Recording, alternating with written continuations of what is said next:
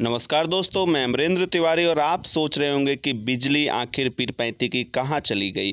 दोस्तों, मैं आपको बता दूँ कि जिस तरीके से कल काफ़ी तेज़ की आंधी आई थी, रात को करीब 11 बजे, उसके बाद पोल तार बहुत नुकसान हुआ है। तैंतीस हज़ार में फॉल्ट हो गया था। उसके बाद आप देख सकते हैं, ये सीधी तस्वीरें आ रही हैं। दियरा क्षेत्र की यहाँ पर जितना नुकसान हुआ है, वो बहुत ज़्यादा नुकसान हुआ है, खास करके इस क्षेत्र में जिस तरीके से की आंधी थी। तो उम्मीद है कि कल तक जो है बिजली यहाँ पर सुचारू रूप से चालू हो जाएगी। इस बुलेटिन को देखने के लिए आप सभी का शुक्रिया।